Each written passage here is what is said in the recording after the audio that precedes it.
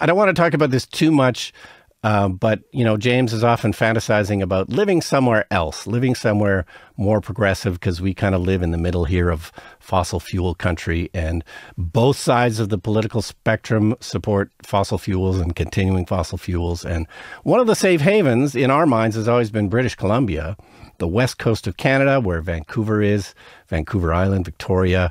It's always seemed like a much more progressive place and, and a place that I'm, you know, interested in moving. But the, the premier of BC now is talking about getting rid of the consumer carbon tax. Well, he's under pressure from the conservatives for once, and they yeah. might lose that, and it would become a yeah. very significant shift. Like the, the conservatives are actually fairly right wing in a yeah. fairly left wing um, mountainous community, you know, think Seattle or something like that. But yeah, it's sort of there's a there's a bunch of fall elections here in Canada, and you know uh, Trudeau's carbon pricing, and it's not a tax; it's a price on pollution but his carbon tax i don't know every, the, the, other parties can smell blood in the water like this is maybe the, the thing well yes the defeat. cost of living the insur- the uh, interest rates have gone up and this is the time that they can finally attack the carbon tax when people are yeah. you know having trouble buying groceries and things like that but it, the stupid thing is is that we most jurisdictions get you know the money back and more most people get more yeah. money so they're actually going to be worse off if you get rid of the carbon yeah. pricing on a consumer level I mean, it, it affects industry as well. And then, then they say, yeah. well, it, it, increases the price of groceries. It's like one penny or two pennies per hundred dollars. It's it's it's yeah. almost you know nothing. Like yeah. you know, a breeze it's, would would would a gentle breeze would raise the price that much. It's political posturing. It doesn't have anything to do with reality.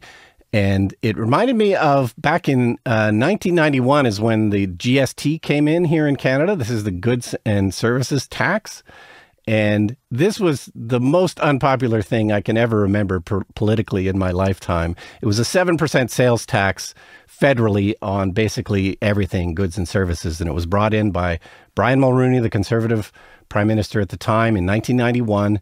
And this, the, I mean, nobody wants to pay 7% more for everything. So this was roundly hated. And then two years later, he lost the election, or the Conservatives lost the election in the greatest defeat ever in the history of Canadian or possibly world politics. But we've been through several election out. cycles federally since it was brought in, and I was kind of surprised by it because there was a because you know the opposition parties would call it a tax and that sort of you know even journalists call it a carbon tax and we've been accused of, yeah.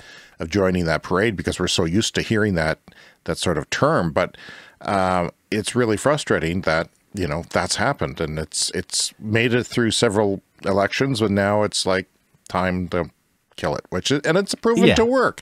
And other countries yeah. in the world are looking to do it. And uh, BC's had it for longer than the federal government has, and they've most of the data in the world comes from BC to prove that it works. So it, yeah. it's not perfect.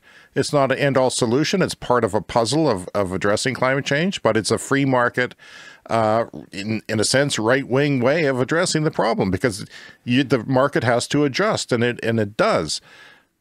It's stupid. It's it's just incredibly um, wrong to to attack something that's working and, and in fact doesn't you know it does not in fact yeah. hurt your pocketbook.